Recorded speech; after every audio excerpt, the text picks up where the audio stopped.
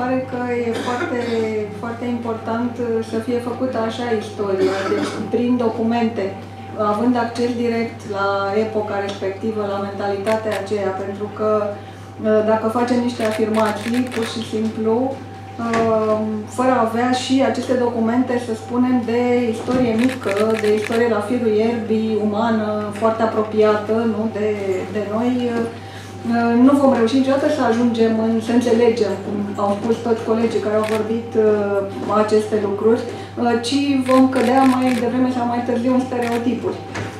Deci cred că unul dintre meritele unei astfel de istorii este tocmai această chestionare a stereotipurilor Uh, și din acest punct de vedere, uh, aș zice că nu, uh, o astfel de istorie nu ne arată, ca să citez, citez Levi Strauss, cealaltă față a lumii, ci mai degrabă o altă față sau alte fețe ale, ale lucrurilor, ale unei realități.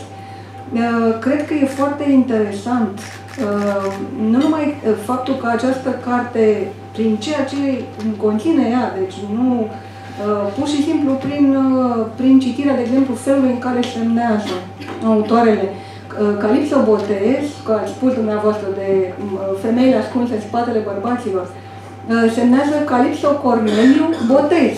Da, la început, da. Deci există o evoluție, să spunem așa, o conștiință lor despre, da. Deci chestionează stereotipurile de gen, în pur, pur și simplu analiza lor ca niște documente, mi-aș permite să spun, etnologice. Uh, pe urmă ne pun problema felului în care se poate face știință.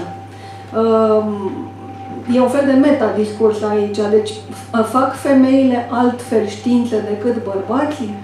sunt niște subiecte privilegiate și aici discutam cu domnul profesor ăsta și întreba Stal despre textile, întreba, tocmai am văzut un film despre Mihai Pop în care o cercetătoare povestește, care a lucrat cu dânsul, povestește că Mihai Pop a aflat de la o bătrână, uh, imediat, de, nu de la o bătrână, de la o femeie care îi murise bărbatul, făcea o pomană, a aflat imediat niște amănunte ce țin de ritul funerar, care noi am zice că este o specialitate feminină, deci femeile din grup nu au aflat ce a aflat, ce a aflat dânsul, în fine. Uh, deci există subiecte privilegiate, subiecte masculine, subiecte feminine.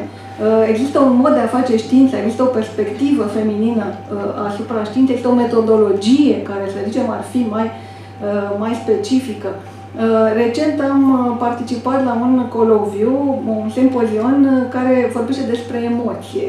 Emoție în cercetarea științifică, sigur, emoție în etnologie. Și am fost la o, o secțiune din aceasta, un panel, în care s-a vorbit foarte mult de, uh, de femei care empatizează cu terenul și de femei care fac teren etnologic pentru a-și răspunde, să spunem așa, unor anumite probleme personale și nu se tem uh, să se imerseze în teren, să se, se implice foarte uh, personal.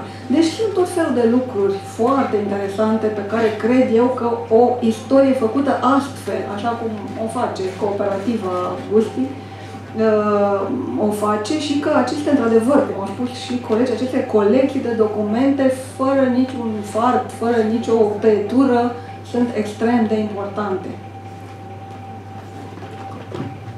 Da, eu